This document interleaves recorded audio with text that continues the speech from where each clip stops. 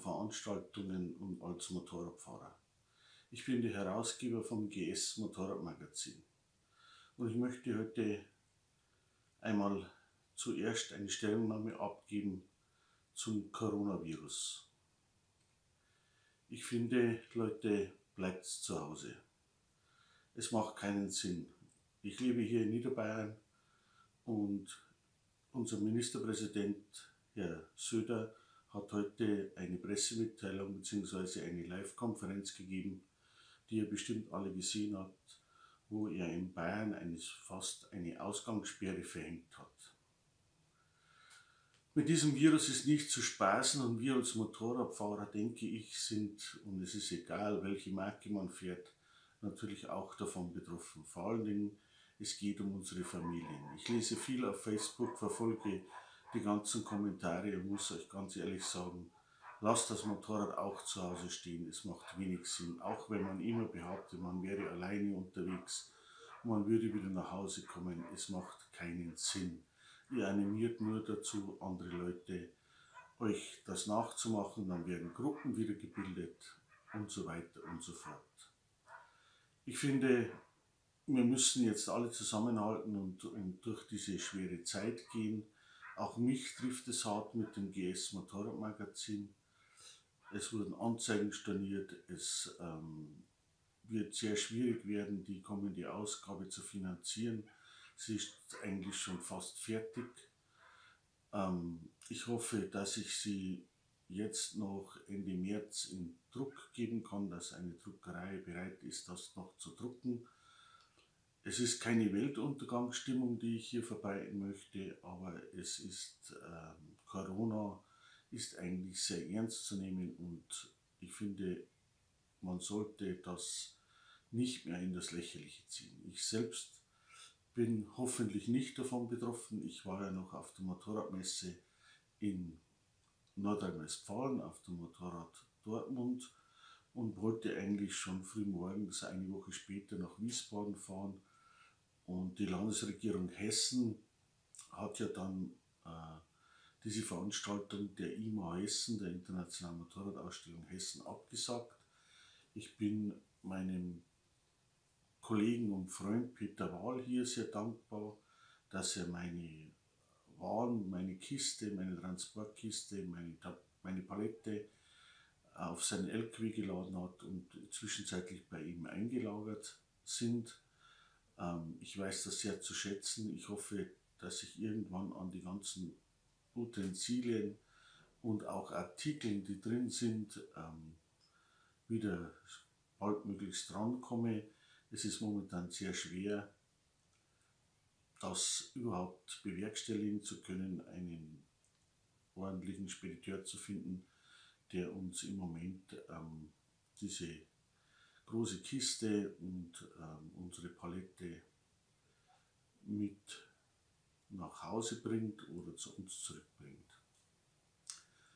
Ich möchte euch heute nicht aus, aus Langeweile, sondern weil ich äh, es zum ersten Mal auch mache, so ein Video ähm, euch erfreuen über Unboxing. Vielleicht hilft euch das ein klein wenig über diese ja wohl dramatische Zeit, nennen wir es mal so, äh, hinwegzukommen. Ich denke mal, es wird sich noch einige Wochen, wenn nicht gar Monate dahin ziehen. Es wird viele, viele wirtschaftliche Probleme geben in unserem Land, die wir jetzt noch nicht absehen können. Und ich möchte euch heute etwas vorstellen, was mich auf der Motorradmesse Wels eigentlich überzeugt hat, beziehungsweise wo ich in ein Gespräch kam ähm, mit äh, dem Stefan Lechner von iRide. Ähm, ich verlinke euch das hier unten dann im Video. Und das ist ein österreichisches Start-up-Unternehmen und ich bin gerne bereit, ihn dahingehend zu unterstützen, ein wenig Werbung für ihn zu machen.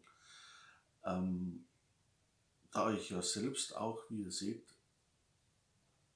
Brillenträger bin und ich das hier alles ohne Konzept eigentlich mache, äh, möchte ich euch ähm, darauf ähm, einmal einen Einblick geben, was heutzutage alles möglich ist für Brillenträger auf dem Motorrad. Sicherlich werdet ihr euch jetzt fragen, was das Ganze soll.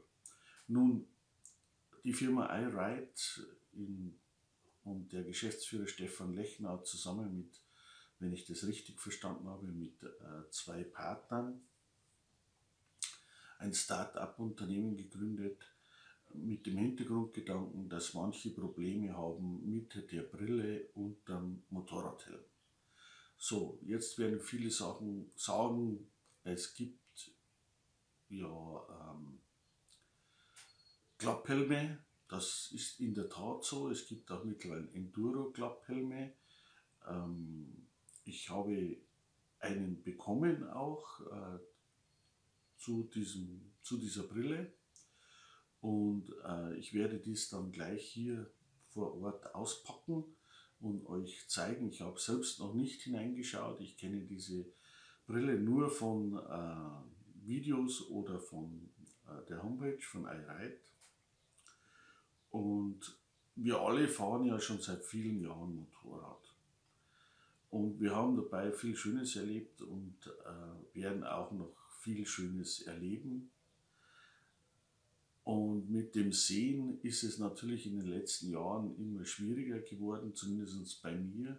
Ich trage seit meinem ja, 14. Lebensjahr, seit meinem 12. Lebensjahr, Entschuldigung, eine Sehhilfe, ja, wie man sie früher nannte, eine Brille. Mittlerweile benötige ich auch eine Gleitsichtbrille, also ich kann nicht mehr gut lesen, auch was altersbedingt der Fall ist und wo viele meiner Freunde ebenfalls mittlerweile davon betroffen sind. Ähm, es ist natürlich manchmal schwer, das Navi dann auch abzulesen, wenn man schlecht sieht.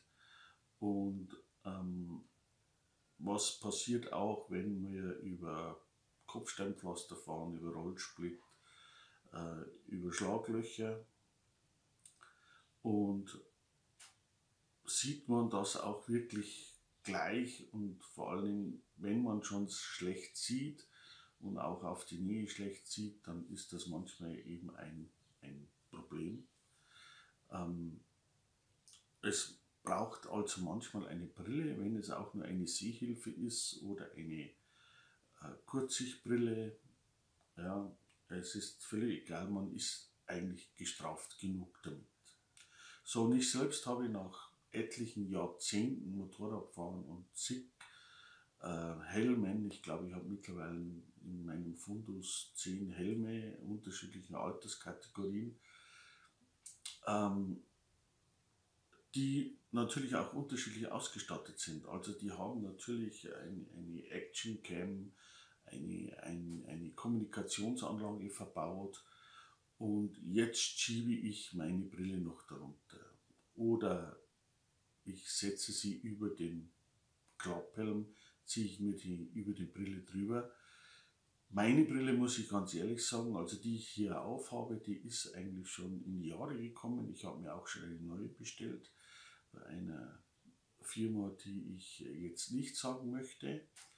Ähm, aber wenn ich mir meine Brille so ansehe, sie ist mir also schon mal runtergefallen.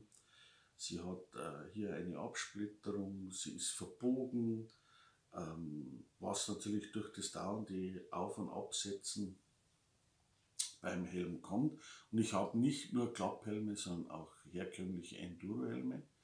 Und ähm, unter anderem mein Lieblingshelm ist äh, der Aventura der ersten Generation von der Firma Turatech in Weiß, weil ich finde, dass dunkle Helme einfach schlecht sind bei großer Hitze. Ich schwitze sehr leicht, da ist das alles ein bisschen ein Problem.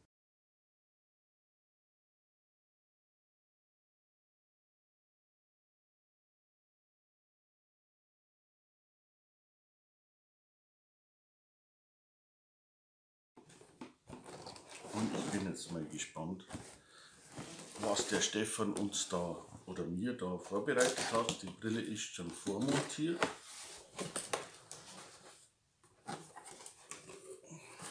Wir schon mal hier Box der Lufthansa Business Class. Bin mal gespannt.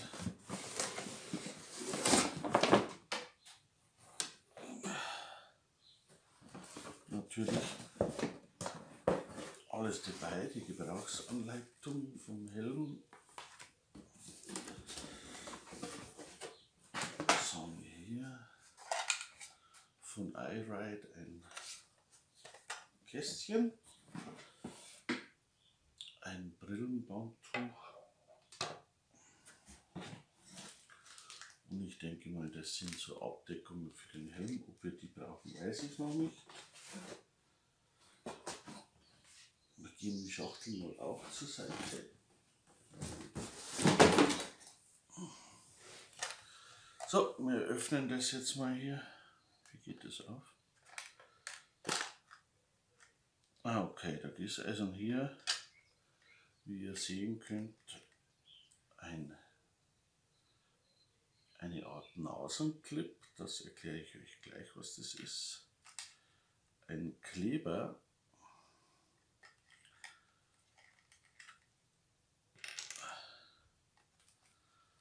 Plastikteilchen.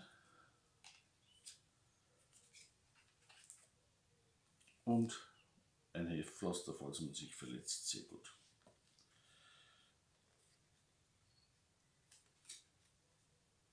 Es ist auch eine CE-Zertifikation dabei.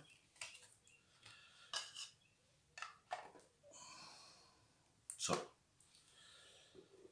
Jetzt holen wir mal den Helm heraus.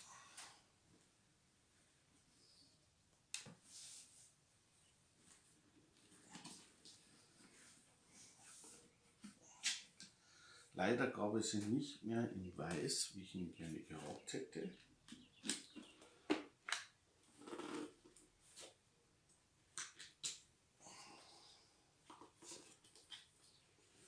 Und wir probieren mal, ob er passt.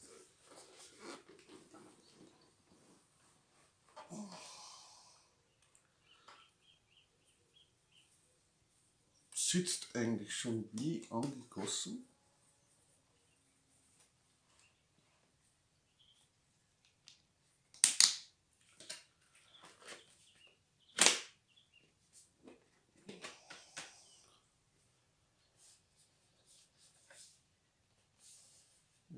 ist ich sagen. Ja, wir haben sogar ein Sonnenvisier.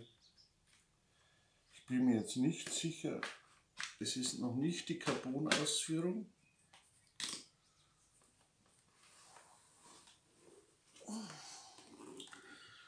Aber wir schauen mal, wie das hier jetzt weiterläuft. Style bringen. So, ich öffne mal diese Lufthansa-Box. Ich weiß nicht, ob die bei allen gleich ist, ich glaube nicht. Aber hier finde ich auch noch ein Brillenputztuch.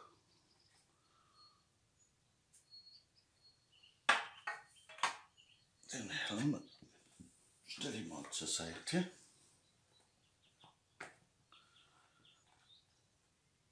Und hier haben wir eigentlich die Ursprungsbrille. Ja, ich sehe schon, die muss geputzt werden. Die putzen wir uns jetzt mal kurz. So. so, und der Stefan war anscheinend schon so freundlich und hat diese ganze Montage schon von vornherein erledigt. Ja, ich muss jetzt nur mal zusehen, wie das Ganze hier funktioniert.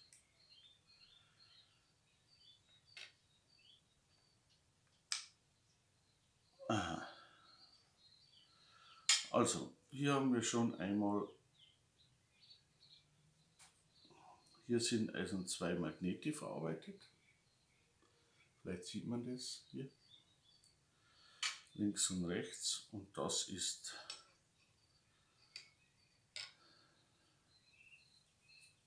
das Teil, was man sich einfach so unter der Jacke um den Hals hängen kann. Ich nehme jetzt mal meine Brille ab. Und wenn man dann diese Brille aus dem Helm nimmt, kann man sie ganz einfach rucki hier anklipsen und so tragen und man macht es so und alles ist super easy. Also ich muss sagen, bis jetzt glaube ich, ist das nicht verkehrt. Das bedeutet, du kannst deine normale Brille eigentlich im Tankrucksack lassen und mit dieser Brille eigentlich wirklich ähm, auch, wenn du stehen bleibst, ganz schnell und easy äh, die aufsetzen.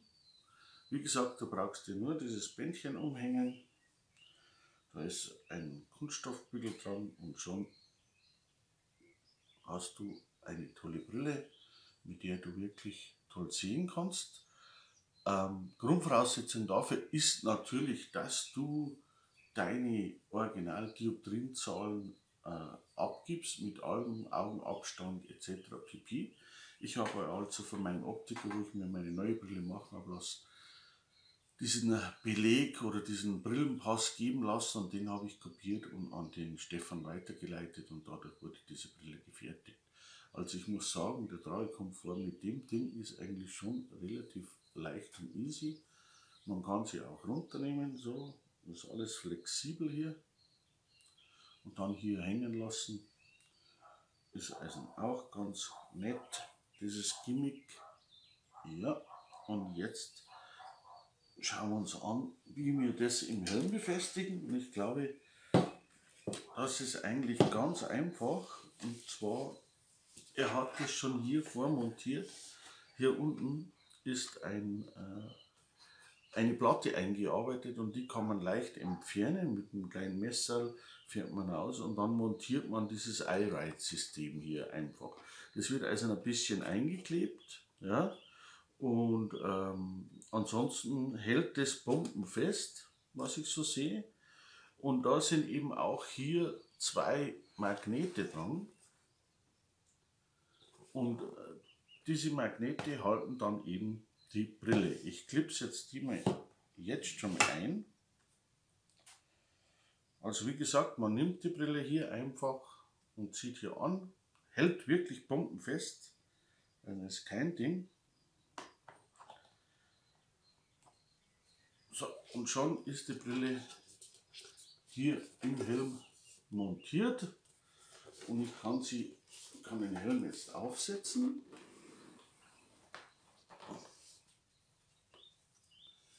Und ich habe eine installierte Brille im Helm, die ich auch noch nach vorn oder zurück, je nachdem wie ich es gerne hätte, schieben kann. Und ich finde dieses System sensationell. Also wie gesagt, Helm ab.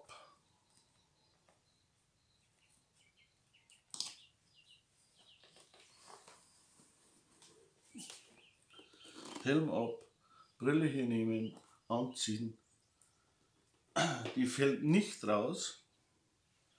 Hier einklipsen